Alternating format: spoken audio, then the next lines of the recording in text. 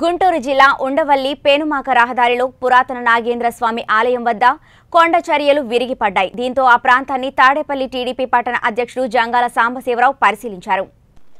ఈ సందర్భంగా జంగాల సాంబశివరావు మాట్లాడుతూ పురాతన నాగేంద్ర స్వామి ప్రతిమకు పుట్టకు పూజ చేయడానికి ప్రజలకి అడ్డుగా ఉన్న భారీ కొండరాయిని సంబంధిత అధికారులు వీలైనంత త్వరగా తొలగించి భక్తులకు పూజలకు ఇబ్బంది లేకుండా చూడాలని కోరుతున్నామని తెలిపారు. అలా తొలగించని పక్షంలో తమ సొంత ఖర్చులతో భారీ కొండరాయిని తొలగించి భక్తులకు ఇబ్బంది లేకుండా చూస్తానని తెలిపారు.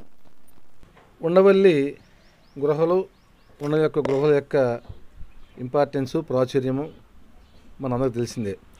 క్రీస్తుపూర్వం ఐదో శతాబ్దంలో అనంతపద్మనాభ అనంత పద్మనాభ స్వామి గుడి కాకుండా ముందే అవన్నీ కూడా గృహలా చెక్కబడి ఆ గృహలన్నీ కూడా పురాతనంగా ఉండి ఎంతోమంది భక్తులు ఎంతోమంది అదేవిధంగా పురావస్తు శాఖ వాళ్ళు విజిటర్స్ ఈ ప్రాంతంకి వస్తున్నమాట మనందరికీ తెలిసిందే.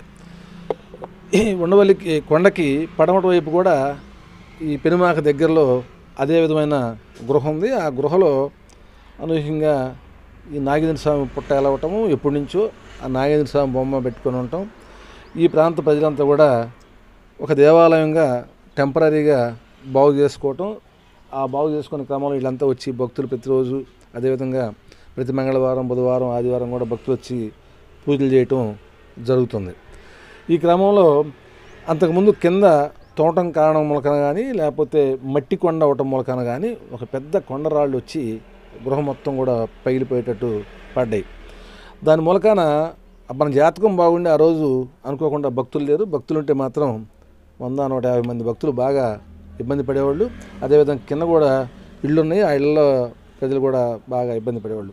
ఇప్పటికైనా సరే ఈ మైనింగ్ శాఖ కానీ రెవెన్యూ శాఖ అవ్వచ్చు లేదా పురావస్తు శాఖ అవ్వచ్చు ఈ గృహల దగ్గర పడ్డ బండరాయిని తీసి ఆ గృహల యొక్క ప్రాతినిధ్య ఆ ఇంపార్టెన్స్ని కాపాడాల్సిందిగా మీడియా మిత్రుల ద్వారా కోరుచున్నాం.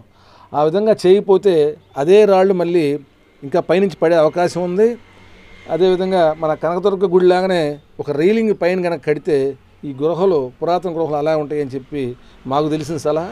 పురాత శాఖ వాళ్ళు ఇంజనీరింగ్ శాఖ వాళ్ళు తప్పనిసరిగా దర్శించి ఈ అడ్డుపడ్డ రాళ్ళు గుడికి కనుక అడ్డుపడితే రాళ్ళు కనుక ఎలా తీస్తారో అడ్డుపడ్డ రాళ్ళు తీయాలి. అదేవిధంగా ఫ్యూచర్లో ఇబ్బంది లేకుండా కింద ఎలాంటి ఆక్రమణ జరగకుండా చూస్తే ఇవన్నీ ఉంటాయని చెప్పి రెవెన్యూ వారిని మైనింగ్ వారిని ప్రభుత్వాన్ని మీ ద్వారా కోరుతున్నాను